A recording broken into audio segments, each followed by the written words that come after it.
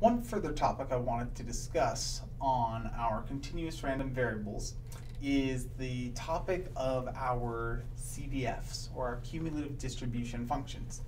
Uh, so we actually are going to be using a cumulative distribution function a whole lot um, because it takes care for us this whole concept of area under the curve. Okay, so let me show you what this guy looks like. And here is our, so we'll go from 0 to 1. We'll call this our CDF.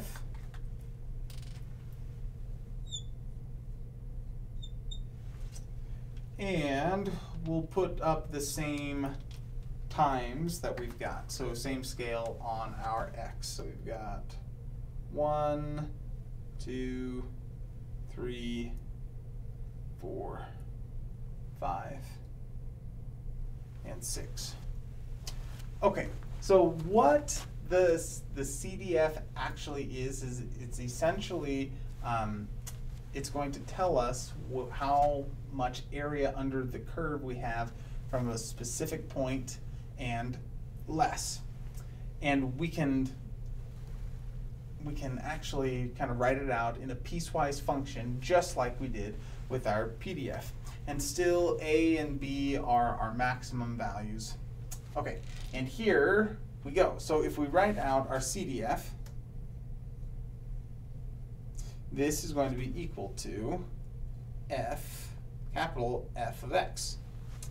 And this guy is equal to this particular piecewise function. So it's going to be 0 for x being less than a. Down here it's going to be 1 for x greater than b. And then we're going to have this guy. So it's going to be x minus a divided by b minus a. And that is going to be for a less than or equal to x less than or equal to b. So th this is really an integral. So we're going to basically be graphing the integral. And what this is, is let's go ahead and graph it out. I'll graph it out in uh, blue or something. So what it's going to be is it basically says from 0 to 1, we are 0.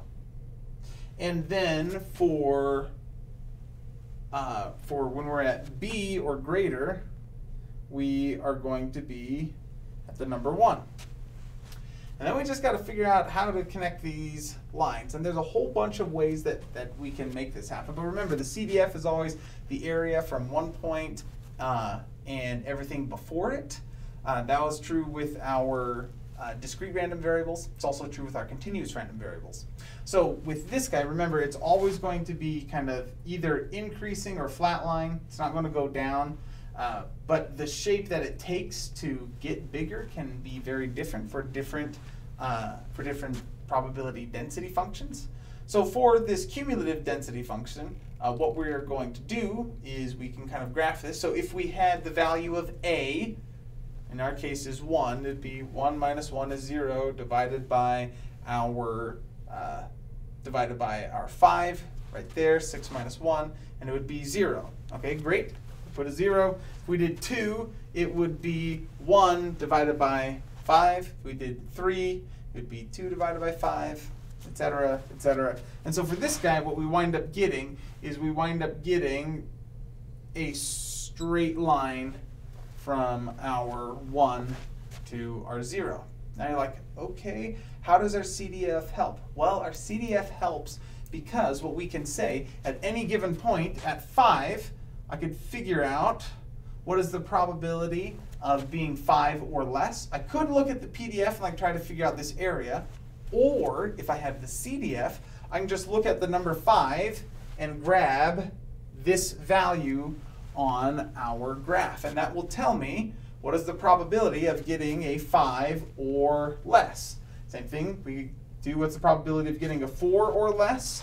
It would be this spot right there, and we could figure out what how high it is on the y-axis. So the CDF is extraordinarily useful. Now let's say that I want to know what's the probability, so let me put up another statement, like the probability of our random event, so this is our DMV wait times, is going to be greater than 4. Okay, so with our PDF, like since it's uniform, it's super easy. You know, we just go 4, 5, and 6 for the event being greater than 4. We circle it and we know it's going to be 2 fifths. Okay, alternatively, what could we do? Remember, we can do 1 minus something from the CDF to get us greater than. And we're going to have to use this trick all the time uh, coming up um, with like our normal distributions. But so what we could do is this guy, we could either sum it out or we could say that that equals 1 minus the probability of x being less than or equal to 4. Now remember the equal it really doesn't matter. You can have it there, you can leave it out.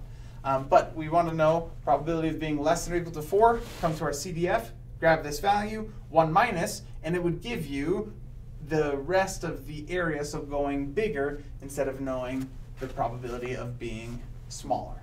So we can use like all these tricks that we have used from our discrete random variables. We just got to tweak them just a little bit to work with our continuous random variables. But just know that we still can plot the CDF, and it is very useful uh, so that we can know the probability of being less than or equal to a value.